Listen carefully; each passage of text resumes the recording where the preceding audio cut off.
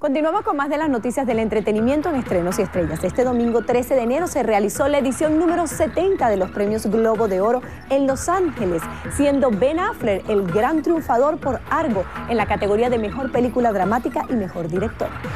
Las películas y series más premiadas fueron Los Miserables, Homeland y Game Chains, cada una con tres Globos de Oro. El musical inspirado en la novela escrita por Víctor Hugo Los Miserables obtuvo el título de Mejor Película de Comedia o Musical. Su protagonista, Hugh Jackman, fue premiado como Mejor Actor en la misma categoría y el tercer galardón que obtuvo la cinta fue para Annie Hathaway y como Mejor Actriz de Reparto. De Django Desencadenado obtuvo los trofeos de Mejor Actor de Reparto para Christopher Waltz y Mejor Guión para Quentin Tarantino. Mientras que la categoría de Mejor Actor Dramático fue para Daniel DeLuis por su interpretación interpretación de Lincoln, el expresidente de los Estados Unidos. Por su parte, la cinta Amour de Austria fue la mejor película extranjera, mientras que el Globo de Oro para la mejor película animada fue para Brave.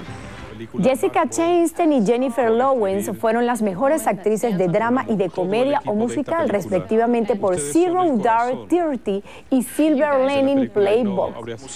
Las premiaciones musicales a mejor banda sonora y mejor canción original fueron para Michael Dana por Life of Pi y para la británica Adele por Skyfall. Por otro lado, la serie de televisión Homeland fue una de las grandes ganadoras con los tres trofeos como mejor serie dramática. Este año el premio honorario lo obtuvo la actriz Jodie Foster my confessor, ski buddy, consigliere. Y cambiamos de tema porque David Guetta puso a vibrar a los venezolanos en el campo de fútbol de la Universidad Simón Bolívar ante unas 12 mil personas. En representación de nuestro país estuvieron los DJ Porfirio y el veterano Oscar Leal, quienes fueron los encargados de comenzar a encender el show.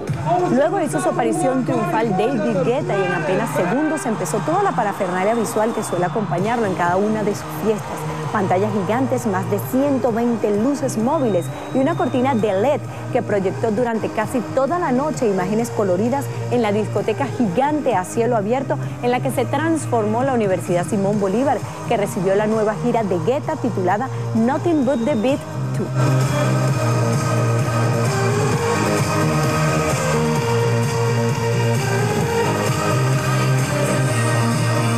El primogénito de los duques de Cambridge, Kate Middleton y el príncipe William nacerá en el mes de julio.